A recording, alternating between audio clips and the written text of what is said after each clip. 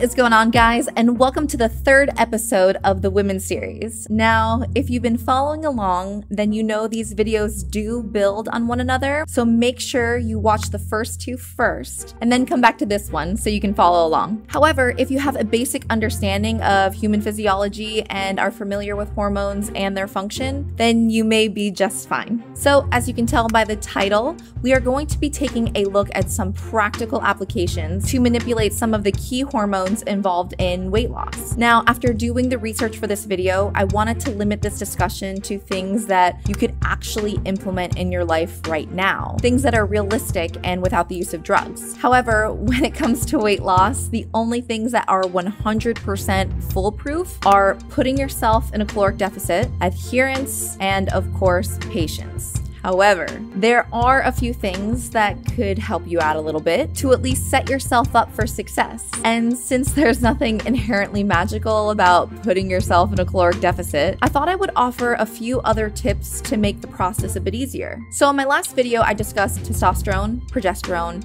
estrogen, leptin, and the thyroid hormones. In this video, I'm going to predominantly focus on leptin and the thyroid hormones, as the others are a little bit more difficult to alter without exogenous drugs like steroids or birth control. Briefly, leptin is the anti starvation hormone, which decreases when you start dieting. And you want this to be high because when it drops, it will signal to the brain that energy reserves are starting to get scarce, and it will trigger a response that increases food intake, such as increasing hunger cues, all of which makes dieting more difficult. Surprisingly, this all happens actually really quickly. A study by Boden and colleagues in 1996 showed that levels levels of leptin started to decrease just after six hours of no food from the last meal in obese and non obese controls. This was validated in a study in 1998 by al., where they had 12 healthy overweight women dieting on roughly a 670 calorie deficit. And this study demonstrated a 54% drop in leptin after just one week of dieting. Interestingly, there was no statistically significant difference of leptin levels from week 1 to week 12, which tells us that there's a drop in leptin pretty quickly and will remain low until calories are restored. Now, this is also seen with hormones of the thyroid, which have a huge role in regulating basal metabolic rate. These hormones also drop with energy restriction, which isn't surprising due to the fact that we know leptin drops when you diet, and a drop in leptin reduces thyroid releasing hormone. Decreased thyroid releasing hormone will then decrease its downstream effectors, TSH, T3, and T4.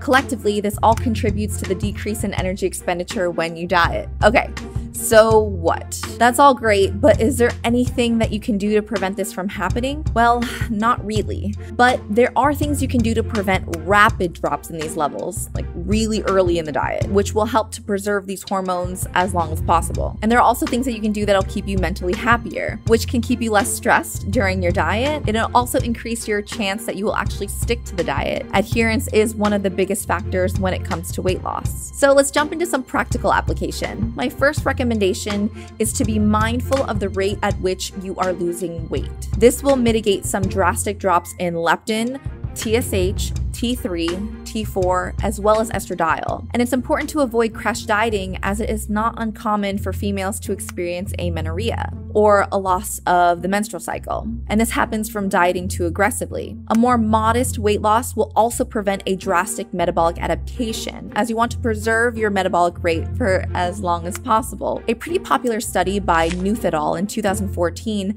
compared people who lost weight through gastric bypass surgery and lost an average of about 90 pounds or 40 kilos in 12 months to those who competed in The Biggest Loser and lost about 105 pounds or 48 kilos in seven months. So both groups had large weight reductions, but the Biggest Loser group had lost it almost twice as fast. And this study showed that the Biggest Loser group, not surprisingly, had the greatest metabolic adaptation. This study also shows us that leptin, T3, and T4 remained higher in the gastric bypass group throughout the study compared compared to the biggest loser group, which had steeper drops in these levels. These results indicate a high association with the average rate of weight loss with the decrease in leptin. Thus, it seems that in order to preserve metabolic rate and leptin levels, losing weight more slowly is optimal. My general recommendation is to lose about 1% of body weight per week. So, for example, I weigh 125 pounds,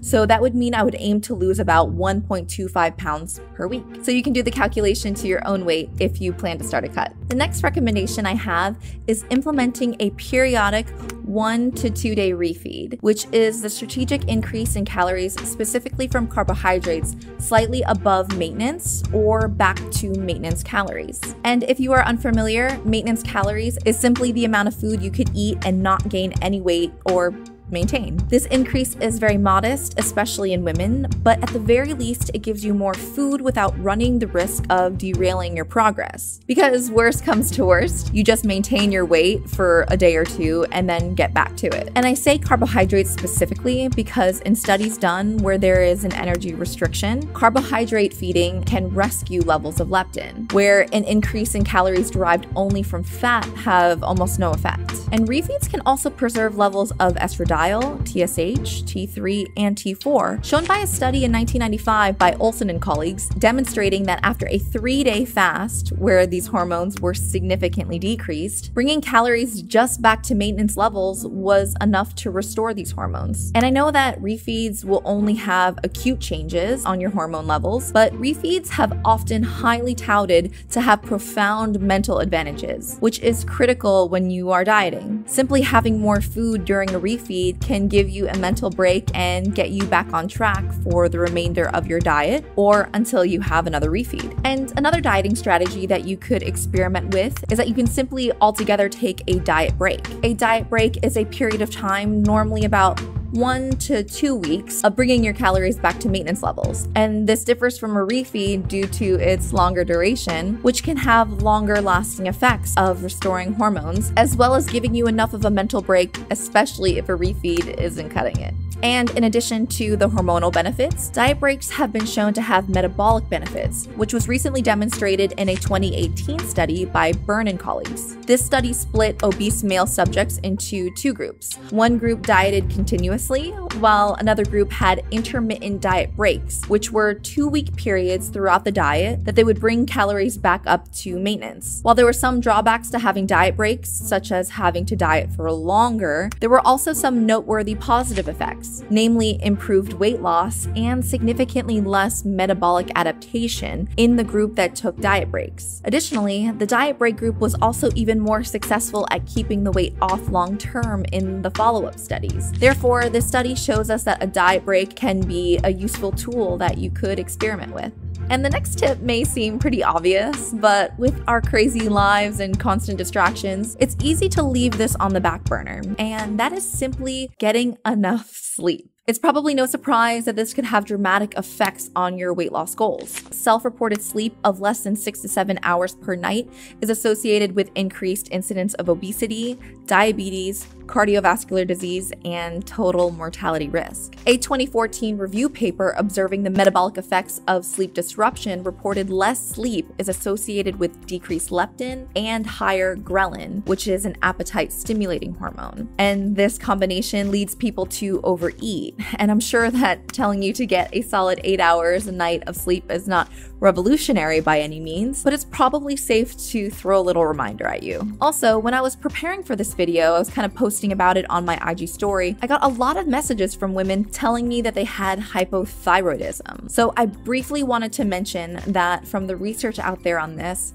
there is sadly no gold standard hypothyroidism diet. Although there are claims to be, there's no current evidence to my knowledge in the literature that eating or avoiding certain foods will improve thyroid function in people with hypothyroidism. Of course, adequate dietary iodine is essential for normal thyroid function, but this is not really an issue in developed countries as it is supplemented in salts and some foods. So, my recommendation for those who have hypothyroidism or for people who want to ensure good thyroid health is to avoid any dietary extremes, which I guess is just good advice in general. And the last recommendations aren't directly related to hormones, but I think they're very important when you are dieting, and I thought I'd throw them in this video. So, one being to make sure you are getting sufficient protein, which helps you hold on to that muscle that you worked so hard for. I generally recommend one gram per pound of body weight per day. And lastly, make sure you are resistance training. Nothing dietarily, not even tons of protein,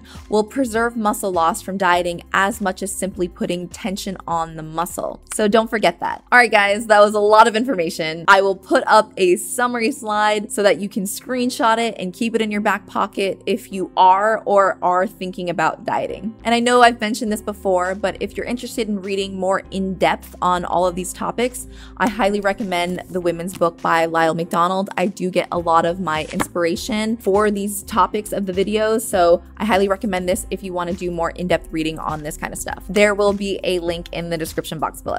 So that is going to conclude this video. I really hope that you enjoyed it. If you are enjoying the women's series, drop me a like so I know that you guys like the sciencey stuff. These are a few highly requested video topics I have coming up for this series. But as always, please, please, please leave topics you would be interested in the comment section below. That is all I have for you. Subscribe if you are new and make sure to check out the videos I have floating around my head and click that notification bell so you know when I post another video. I love you all so much, and until next time, bye.